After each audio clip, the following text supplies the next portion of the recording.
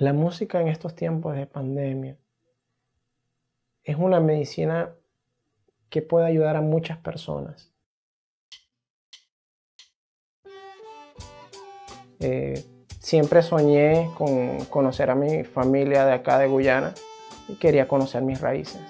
Llevo muchos años estudiando y aprendiendo música. Ahorita estoy en varios, varios proyectos para formar niños y jóvenes y así brindarle a la sociedad un, mejor desarrollo cultural. No solamente trabajo con, niños venezolanos o niños guyaneses, también hay niños de otras nacionalidades, hay niños cubanos, hay niños brasileños, eh, hay niños haitianos, que es espectacular compartir con ellos porque los niños no ponen barreras.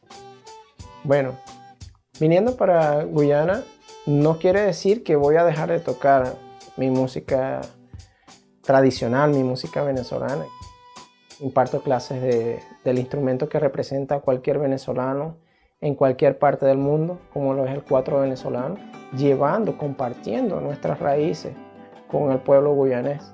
Y ha sido aceptado bastante, eh, ha sido admirado porque no conocían el, el cuatro como tal. Cuando dos músicos de diferentes países se consiguen o más músicos, el lenguaje es el mismo. La música en estos tiempos de pandemia es una medicina que puede ayudar a muchas personas. Nos, nos une de alguna manera.